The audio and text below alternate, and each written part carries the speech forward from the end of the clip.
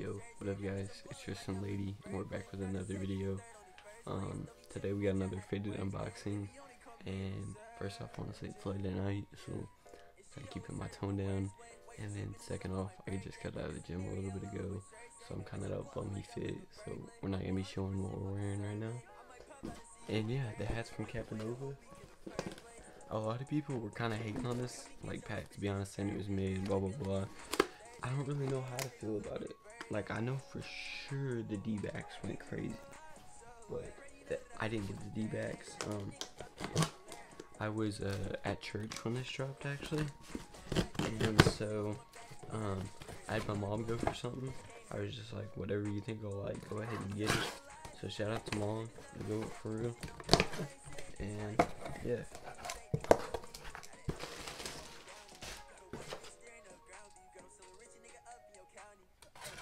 Oh, that's cool. They got a thing.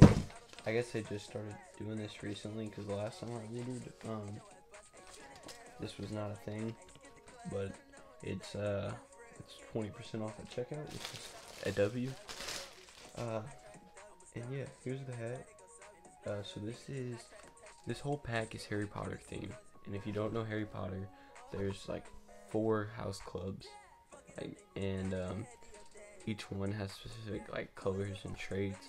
And I believe this is supposed to be the Ravenclaw, and um, Ravenclaw co- Ravenclaw colors are blue, I think. Yeah. So I'm not the best with blue and yellow, so you guys, I'll show you all the details. Y'all just have to be able to kind of go out the lighting, see what everything is. Um, so you got it, it's a Baltimore Orioles um, with the bird logo. Um, you know, not the not the sometimes logo they like their main logo they use.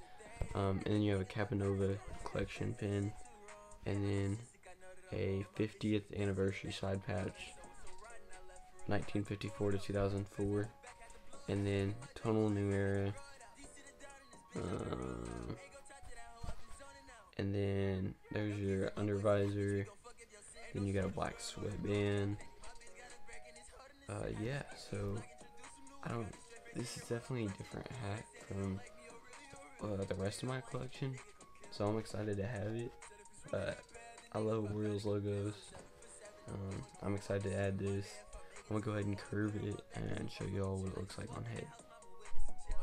Alright guys, this is what the fit looks like on head. To me, I mean, it's really clean. I love Orioles logos. Um, I'm actually gonna recurve this O's right now, reshape it. It's a little messed up, but I, I can fix the shape. Um, I haven't worn that one in a minute. But yeah, this is really nice in my opinion. Different from anything else in my collection.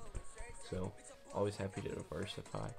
Um, also, if you got any 7 and 5 A's team colored, um, whether preferably not on field, but if you got on field cheap enough, then that's cool. Um, Orioles team colors seven to five days. Hit me up, DM me, or comment on YouTube or something like that. Just let me know because I'm trying to get one because I I got this. I've had this jacket that I got last year at Goodwill that I thrifted. It was crazy. Um, I actually got in the women's section, but it goes hard, and I need something. I need a fitted to go along with that. But yeah, that's what the fitted looks like on head. Um, my phone's about to die, so I probably get, gotta get to going. But thank you all for watching. If you're new, like and subscribe. Show love. I'll see you on the next video. Road to 300. Peace.